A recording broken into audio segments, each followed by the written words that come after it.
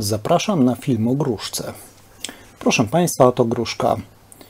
Specjalnie powtórzyłem słowo gruszka parę razy, bo niektórzy krótkofalowcy się oburzają, że mikrofonogłośnik, bo to jest mikrofonogłośnik lub mikrofon, różnie to bywa, bo jeśli jest tu głośnik oprócz mikrofonu, to jest mikrofonogłośnik, a jeśli nie ma głośnika, to jest mikrofon.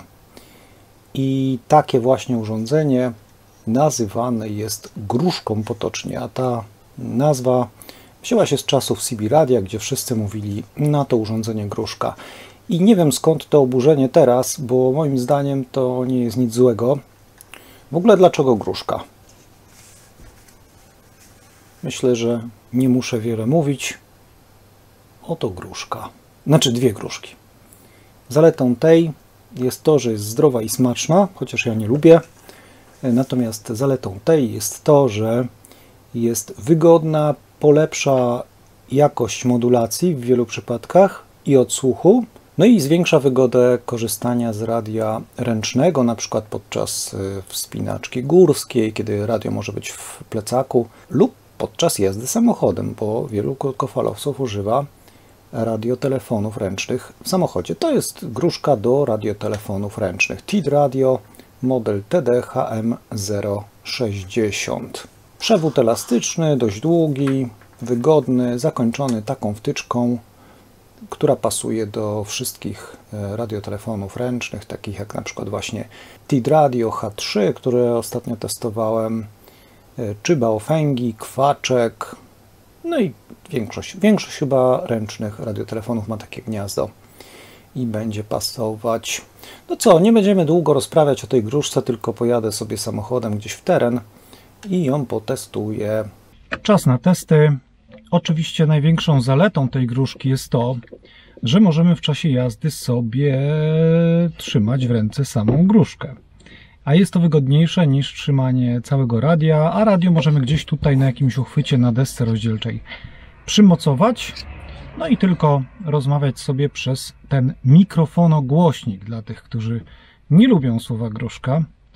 No więc o zalecie używania tego w czasie jazdy nie będę mówił, ale przetestujemy teraz, znaczy ja przetestuję, czy używanie tej gruszki wpłynie jakoś na modulację, czy ją poprawi, czy ją pogorszy, czy będzie bez zmian. E, wziąłem trzy radia, ręczne oczywiście, TID Radio H3, Baofenga UV82 i kwaczka. I do każdego z tych urządzeń podłączę tą gruszkę, ale najpierw zrobię test bez gruszki, potem z gruszką. Cały czas z tej samej anteny samochodowej, która jest na dachu, stoję w miejscu, więc warunki się nie zmieniają. E, wszystko nagrywam u mnie w domu na SDR podłączonym do anteny X30. Odjechałem od domu jakieś 2 km, żeby ten sygnał był już troszeczkę słabszy. Zobaczymy jaki będzie. Muszę się spieszyć, bo się szybko ciemno robi. Dopiero 17.15, już słońce zachodzi. E, pierwszy TID Radio H3 i testujemy. Mig gaina ustawiłem na full. Wbudowany mikrofon. Test modulacji, test modulacji, TID Radio H3, wbudowany mikrofon. Podłączmy zatem gruchę. SQ7 Sierra Echo, SQ7 Sierra Echo, test modulacji, gruszka zewnętrzna do TID Radio H3. SQ7 Sierra Echo, test, test, test modulacji. Aż sobie tutaj laptopa wziąłem, żeby zrobić podgląd, więc już widziałem, ale nie porównywałem. Y, następne radio. Teraz klasyk, czyli Baofeng UV82. Test modulacji, test modulacji, Baofeng UV82, wbudowany mikrofon SQ7 Sierra Echo. I podłączam zewnętrzną gruszkę. Szybko, szybko dostałem ostrzeżenie, że mi się bateria w kamerze kończy. Ciekawe, czy zdążę, czy nie zdążę. Znając moje szczęście, to pewnie nie zdążę. SQ7 Sierra Echo. O, coś nie działa ta gruszka z tym radiem. Na wyświetlaczu mruga. Z nie wiem co jest grane. I po naciśnięciu. A nie, nadaje. Test modulacji, test modulacji SQ7 Sierra Echo, test modulacji Baofeng UV82. Mikrofon zewnętrzny. Nie wiem, chyba tam nie ma nic na tym wykresie. Mruga wyświetlacz dziwnie. Dobra. Szybko podłączam kwaczka. Test modulacji, test modulacji, SQ7 Sierra Echo, radio, kwaczek, kwaczek, mikrofon wewnętrzny. i podłączamy gruchę. Kamera jeszcze działa. Hmm. SQ7 Sierra Echo, SQ7 Sierra Echo, test modulacji, radio, kwaczek, mikrofon zewnętrzny, DIT radio. Test modulacji, SQ7 Sierra Echo. No, było, było widać, tylko na Baofengu nie było widać. Ale skoro już jesteśmy przy testach, to mam tu jeszcze Retevisa. Retevisa RT3S. Zobaczymy, czy z nim zadziała to. E, Tu mam ustawionego migaina tak w tym Retevisie, że trzeba mówić z odległości około 30 cm. No to tak będę mówił, bo jest na maksimum. Test modulacji, test modulacji, Retevis RT3S, mikrofon wewnętrzny, SQ7 Sierra Echo. Dobra, grucha. Test modulacji, test modulacji, SQ7 Sierra Echo, radio Retevis RT3S, mikrofon zewnętrzny. Działa. Ale chyba też muszę mówić z większej odległości, bo wydaje mi się, że był przester. Dobra, spróbujmy. Z większej. Test modulacji, test modulacji, SQ7 Sierra Echo, mikrofon zewnętrzny, radio RT3S. Czas na podsumowanie, ale myślę, że zanim to podsumowanie zrobimy, to może byśmy zajrzeli do środka tej gruszki. Przecież dawno nic nie rozbierałem. A, jeszcze jedna fajna rzecz.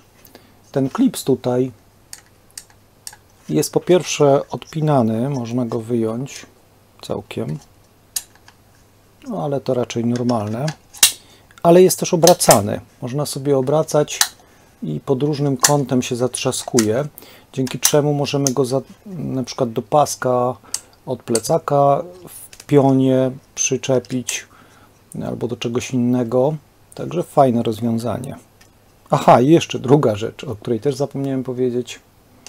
To tutaj jest wyjście na słuchawki, czyli tutaj możemy sobie podłączyć słuchawki, no mało to wygodne, bo dwa kable się będą pałętać, ale jak jest zaszumione środowisko, to zawsze to jest jakieś tam wyjście. No dobra, dobieram się do środka tego urządzenia. No tak, musimy jeszcze odkręcić to. Już widać, że jest tu wkładka elektretowa i głośniczek. A żeby podziwiać całość, to jeszcze jedna śrubeczka patrząc na tą stronę płytki, myślałem, że tam będzie jakiś wzmacniacz, czy filtry, czy coś takiego, ale nie, tutaj jest tylko gniazdko właśnie słuchawkowe, wkładka mikrofonowa i mikroswitch i duży głośniczek, duży głośniczek 8 ohmów 2 W. Także dużo większy niż w radiu. W związku z tym na pewno dźwięk z tego będzie lepszy niż z radia.